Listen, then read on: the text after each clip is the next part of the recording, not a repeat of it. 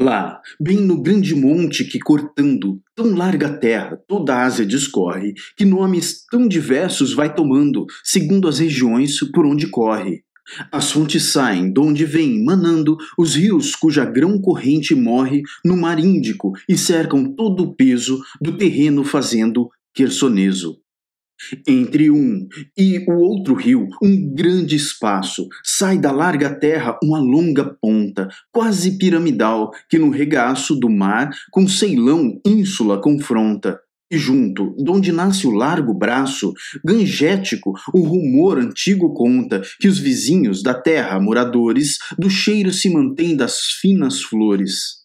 Mas agora, de nomes e de usança, novos e vários são os habitantes, os delis, os patanes, que em poçança de terra e gente são mais abundantes.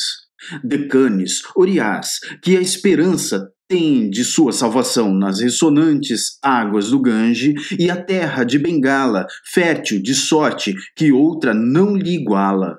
O reino de Cambaia, belicoso, dizem que foi de Poro, rei potente, o reino de Narsinga, poderoso, mais de ouro e pedras que de forte gente.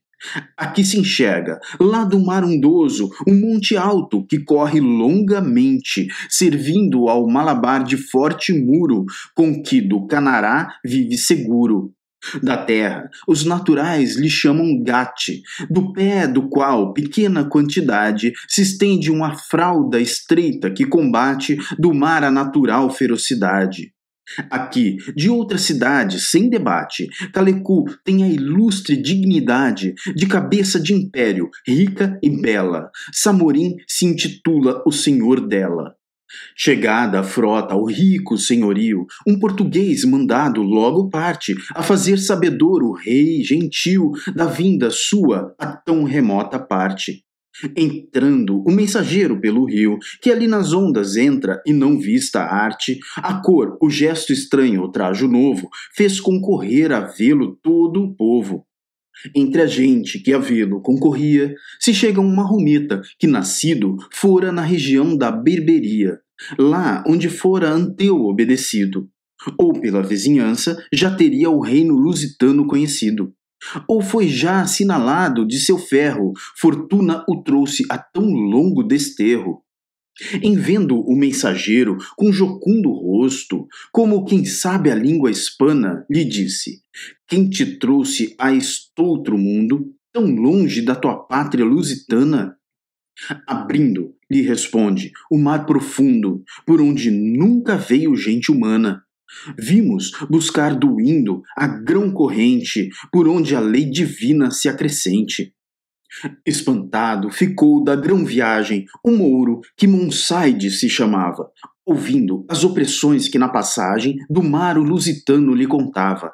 Mas vendo, enfim, que a força da mensagem só para o rei da terra relevava, lhe diz que estava fora da cidade, mas de caminho pouca quantidade e que, entanto que a nova lhe chegasse, de sua estranha vinda se queria, na sua pobre casa repousasse e do manjar da terra comeria. E depois que se um pouco recreasse, com ele, pera armada tornaria, que alegria não pode ser tamanha que achar gente vizinha em terra estranha.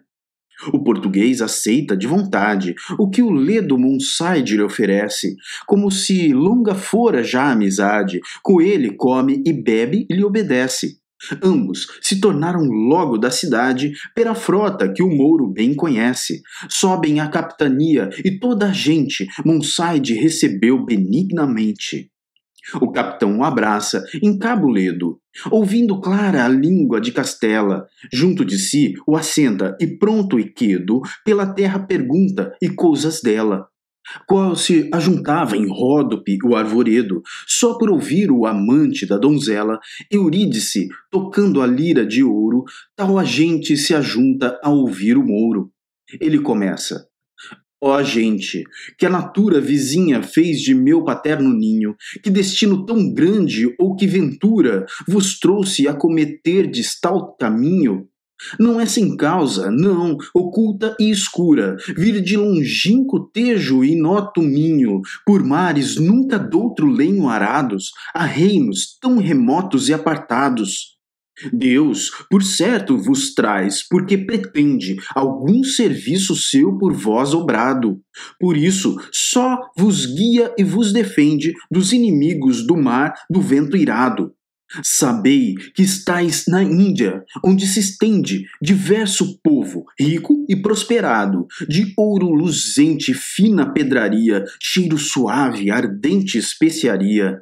Esta província, cujo porto agora, tomado tendes, Malabar se chama, do culto antigo os ídolos adora, que cá por estas partes se derrama. De diversos reis é, mas dum só fora, noutro tempo, segundo a antiga fama. Saramá Perimal foi derradeiro, rei que este reino teve unido e inteiro.